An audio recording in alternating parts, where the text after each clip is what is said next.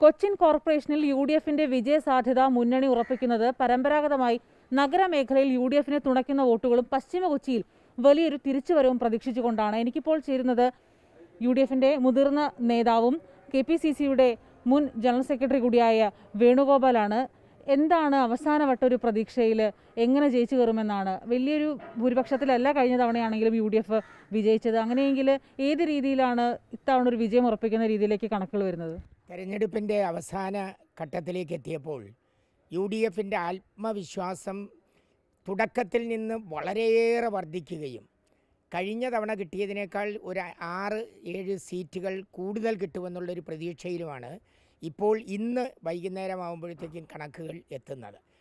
ഇത്തവണ ഞങ്ങൾക്ക് പശ്ചിമ കൊച്ചിയിലാണെന്നുണ്ടെങ്കിലും കിഴക്കൻ കൊച്ചിയിലാണെന്നുണ്ടെങ്കിലും വലിയ റിബൽ ശല്യങ്ങൾ ഇല്ല എന്നുള്ളത് കോൺഗ്രസിനെ സംബന്ധിച്ചിടത്തോളം യു ഡി എഫിനെ സംബന്ധിച്ചിടത്തോളവും ഈ ആത്മവിശ്വാസം വർദ്ധിപ്പിക്കുവാനുള്ള കാരണമാണ്. മാത്രവുമല്ല കഴിഞ്ഞ തവണ കിട്ടാതിരുന്ന നിരവധിയായ സീറ്റുകൾ ഇത്തവണ പശ്ചിമകൊച്ചിയിൽ നിന്ന് കഴിഞ്ഞ തവണ ഒമ്പത് സീറ്റാണ് പശ്ചിമകൊച്ചിയിൽ നിന്ന് കിട്ടിയത്. ഇത്തവണ കോൺഗ്രസ്സിന് മാത്രം പതിനാല് സീറ്റ് കിട്ടും എന്നുള്ളത് ഞങ്ങൾ ഉറപ്പിച്ചിരിക്കുന്ന ഒരു ഒരു വസ്തുത വളരെ വ്യക്തമായി ഞങ്ങൾക്ക് ഉറപ്പാണ് അവിടെയൊക്കെ വലിയ രീതിയിൽ ലീഗിന്റെ വിമതശല്യം ഒരു ഭീഷണി തന്നെയല്ല? അല്ല ലീഗിന് കഴിഞ്ഞ തവണ കിട്ടിയത് ഒരു സീറ്റായിരുന്നു. ലീഗ് മൂന്ന് സീറ്റിൽ കഴിഞ്ഞ തവണ നാല് സീറ്റിൽ നിന്നു. അവിടെ ഒരു സീറ്റാണ് ലീഗിന് കിട്ടിയത്. ഇത്തവണയും ലീഗ് ആ സീറ്റ് നിലനിർത്തും. നാല് സീറ്റിൽ ഒരു സീറ്റ് ലീഗ് നിലനിർത്തിക്കൊണ്ട്. മൊത്തത്തിൽ എത്ര ആയിരിക്കും ആ ഒരു സംഖ്യ ഞങ്ങളുടെ നാൽപ്പത്തി അഞ്ച് സീറ്റ് ഐക്യ ജനാധിപത്യ മുന്നണിക്ക് ലഭിക്കും എന്നുള്ളതാണ്. കഴിഞ്ഞ തവണ ആർ എസ് പിക്ക് ഒരു സീറ്റ് ഏഹ്, കൊടുത്തത് നഷ്ടപ്പെട്ട് ഇത്തവണ അത് തിരിച്ചു കിട്ടുന്നു. കേരള കോൺഗ്രസ് കഴിഞ്ഞുകൊണ്ട് ഒരു സീറ്റ് ഉണ്ടായിരുന്നു ആ സീറ്റ് കിട്ടുന്നു.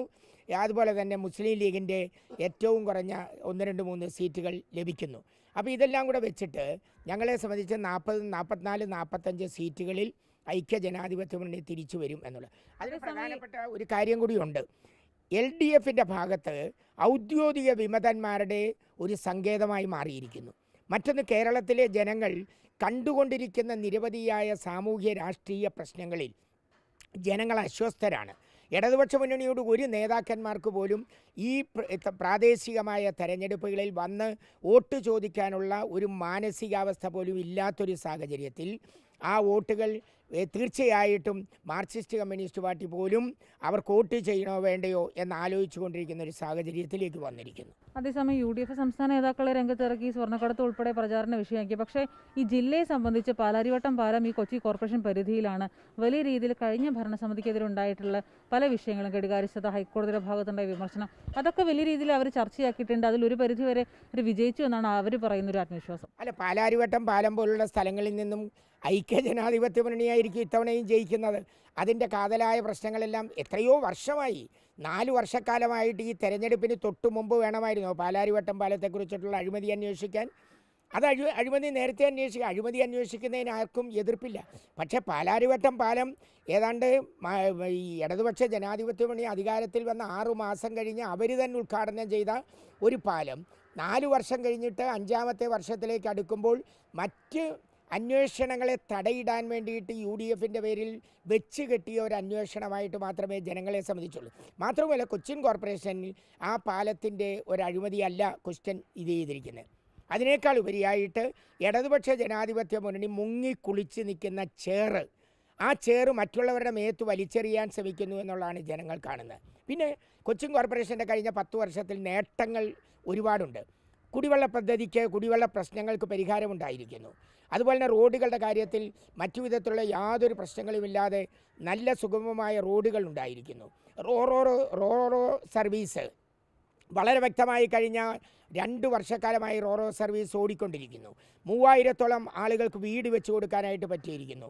മുഴുവൻ വികലാംഗർക്കും ഫിസിക്കലി ആൻഡ് മെന്റലി ആളുകൾക്ക് ഉപകരണങ്ങൾ കൊടുക്കാനും സ്റ്റൈഫൻഡ് കൊടുക്കാനും പറ്റിയിരിക്കുന്നു. ഇതെല്ലാം കൊച്ചിൻ കോർപ്പറേഷന്റെ ഭരണനേട്ടമാകുമ്പോൾ തന്നെ കഴിഞ്ഞ ഒന്നര രണ്ട് വർഷക്കാലമായിട്ട് നിരവധിയായ രാഷ്ട്രീയ സമ്മർദ്ദങ്ങൾ ഗവൺമെന്റിൽ നിന്നുണ്ടാകുന്നു. ഒരു സെക്രട്ടറിയെ വെച്ചു കൊടുക്കാൻ പോലും ആറുമാസം സെക്രട്ടറി ഇല്ലാത്തൊരു കോർപ്പറേഷൻ എന്ന് പറയുമ്പോൾ ആലോചിക്കുക ആറു മാസത്തേക്ക് ചെക്ക് ഒപ്പിടാൻ ആളില്ല. ഏതെങ്കിലും ഓർഡറിൽ ഒപ്പിടാൻ ആളില്ല. സെക്രട്ടറി ഇല്ല അവസാനത്തെ ഒരു കാര്യം മറ്റ് തെരഞ്ഞെടുപ്പുകളെ അപേക്ഷിച്ച് ഇത്തവണ ഒരു സ്ഥാനാർത്ഥി ബാഹുല്യം വലിയ രീതിയിൽ മത്സര ചിത്രത്തെ ഒരേ സമയം ആവേശകരമാക്കുന്നുണ്ട് പക്ഷേ മുന്നണികൾക്ക് വലിയ തലവേദനയാവുന്നുണ്ട്. ഈ വി ഫോർ കൊച്ചി രാഷ്ട്രീയ ഇതര മുന്നേറ്റങ്ങളെ നിങ്ങൾ പരസ്യമായി തള്ളുന്നുണ്ടാവും പക്ഷേ അവർ പിടിക്കുന്ന വോട്ട് അത് ആരെ ബാധിക്കുന്ന ഒരു ആശങ്ക തന്നെ വലിയ കാര്യമുള്ളതല്ല? ഇല്ല ഞങ്ങളെ ബാധിക്കില്ല എന്നുള്ളത് തന്നെയാണ് ഞങ്ങളുടെ പാർട്ടി പ്രവർത്തകരുടെ ഭാഗത്ത് നിന്ന് ഓരോ ഡിവിഷനുകളിൽ നിന്നും വന്നുകൊണ്ടിരിക്കുന്നത് പിന്നെ ഇത് ഇത്തരം പ്രവണതകൾ എല്ലാ കാലഘട്ടത്തിലും ഉണ്ടാകുന്നതാണ്. അതിന് ഇത്തവണ ഒരു പേരുണ്ടായി എന്നുള്ളതിൽ കവിഞ്ഞ് മറ്റൊന്നും ഉള്ളതായിട്ട് ഞങ്ങളെ സംബന്ധിച്ചിടത്തോളം ഞങ്ങൾക്ക് ഫീൽ ചെയ്തിട്ടില്ല. ഞങ്ങളെ ബാധിക്കുന്ന പ്രശ്നവുമല്ലത് അതായത് രാഷ്ട്രീയ ഇതര മുന്നേറ്റങ്ങൾ യു ഡി എഫിന്റെ വിജയസാധ്യതയെ ബാധിക്കുന്ന ഒരു തരത്തിലേക്ക് നീങ്ങുകയില്ല. യു ഡി എഫിന് നാൽപ്പത്തിയഞ്ച് സീറ്റ് വരെ നേടിക്കൊണ്ട് കൊച്ചിൻ കോർപ്പറേഷനിൽ ഭരണം പിടിക്കാനാകുമെന്ന ആത്മവിശ്വാസത്തിലാണ് യു ഡി എഫ്